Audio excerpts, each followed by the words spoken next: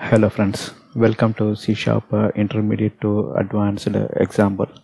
Now we are starting a new video series, sub-series and in this uh, sub-series we will learn flow layout panel. So in this uh, first part we will uh, learn the um, flow layout panel basics.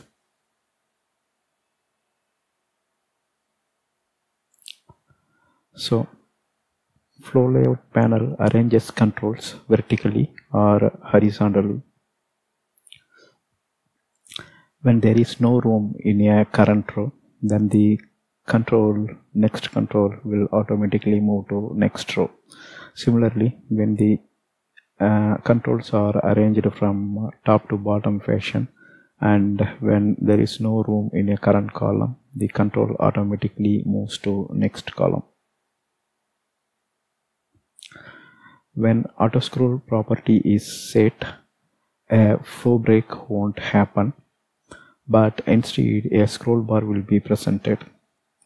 If the controls are arranged from left to right fashion then all the controls are presented in a single row.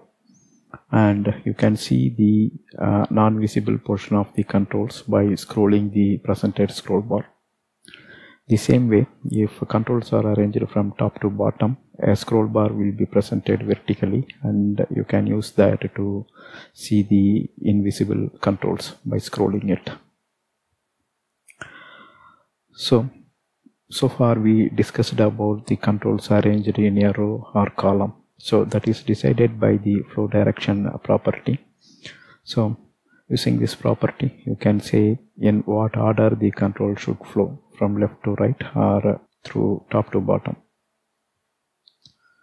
With the flow break method, we can break the flow even before the actual row or column break happens. That means when uh, the controls are arranged left to right, let us take it as an example, and with a flow break, you can break a control even before the actual break happens. That means the actual break happens when there is no room in the current row. But with the flow break, you can even break the control beforehand.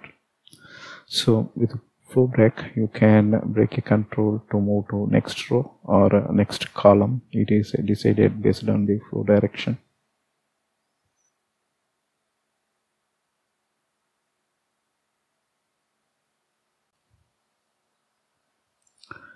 Let's say we have a windows form and with the flow layout and let's assume that controls are arranged from left to right fashion.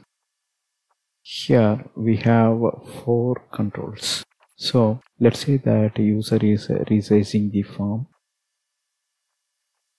So for this control there is no room here in the present row so and the flow direction is left to right. What happens? A flow break happens and third control goes here and then fourth one goes here.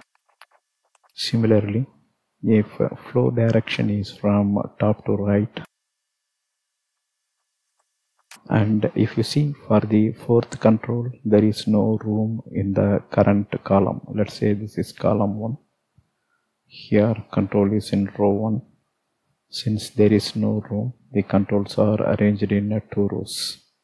Similarly, here control goes to second column. So this flow direction is decided by the flow direction property. And if we set a scroll bar, then this kind of uh, break won't happen and all controls go here and the invisible portion of the control you can scroll and see so all this stuff we will see in this uh, example. So th this is uh, the first series. Now you got an idea of what is a flow layout panel and how it arranges the control. In the coming videos we will explore some of its properties with an example.